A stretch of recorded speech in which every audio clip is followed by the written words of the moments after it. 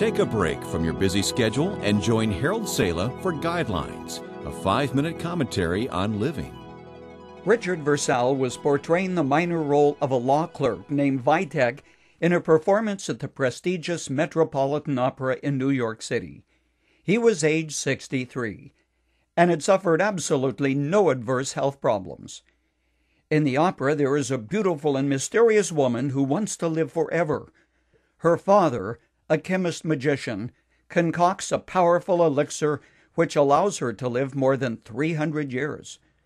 But Versalle, portraying the law clerk, sings a line which goes, You can only live so long. Little did anyone who attended the opera that night realize that those words, You can only live so long, would be the last sentence ever to come from the lips of this man whose singing had touched the hearts of thousands and thousands in his career. No sooner had he sung the line when his heart failed. Then he fell landing motionless on his back, his arms outstretched. Realizing that something was wrong, the stage manager immediately dropped the curtain, and the performance was canceled. Then only the third time for this to have happened in the history of the Met once a performance had begun. Anthony George, the singer's manager, was sitting in the orchestra seat only a few feet away when he died. George told the press that as far as he knew, he had suffered no health problems whatsoever. Long ago, the writer of Hebrews wrote, Man is destined to die once, and after that to face judgment. Of one thing you can be sure. When it comes to the length of our lives, we may fantasize about living for 300 years. But the fact remains there is an established number of years for every person to live, and after that we face death.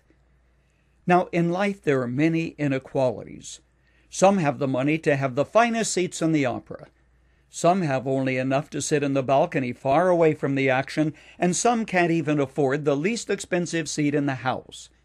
However, when making an entrance and an exit to the stage of life, everyone is perfectly equal. Facing death, however, is neither scary nor foreboding when you have the concrete assurance that death only opens the door to life eternal. That's the difference that Jesus Christ made in our world. He stood before an open grave and said candidly, I am the resurrection and the life. He who believes in me will live even though he dies. Jesus Christ alone faced death, then came back to talk about it. And it is this fact that death could not hold him which makes what he said credible and so very important. He told his disciples he was going to prepare a place for them, and that he would return and receive them to himself, so where he was, they could be also. An eternal home in the heavens is what Jesus was talking about. It is real, as real, however, as anything on earth. Friend of mine called to give me the rather shocking news that leukemia was gradually taking his life, and the doctors did not expect him to live more than a few days.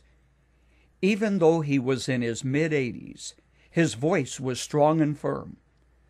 I've never known a more godly man who, in spite of the sadness in saying farewell to friends and family, bore a tinge of excitement in his voice. He knew where he was going, and he knew the way to heaven was through him who said, I am the way, the truth, and the life. A final question.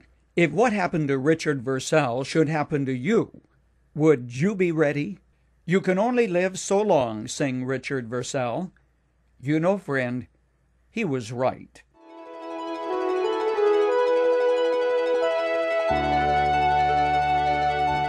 You've just heard Dr. Harold Sala with Guidelines, a five minute commentary on living.